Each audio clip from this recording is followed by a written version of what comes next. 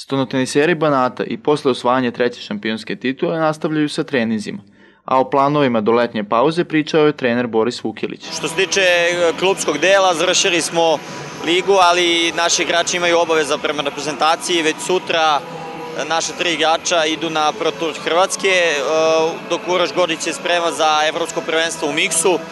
Tako da evo i dalje treniramo kao što vidite. Trenera Banata smo pitali kako će izgledati tim u narednoj sezoni. Okosnicu tima će činiti e, naša tri igrača koje su već e, igrala, to je Uroš Gordić, Ilija Majstorović i Boris Mihajlović. E, za sada se još pregovara oko četvrtog igrača, vidjet ćemo da li će to biti neko pojačanje ili igrač koji će samo dopuniti ekipu, ali najbitnije da standardnu trojku imamo i da sigurno sa tom trojkom možemo se nadati dobrim rezultatima i u narednom, narednoj sezoni. Igrači Banata će obaveze imati do kraja juna, a potom će otići na zasluženu pauzu.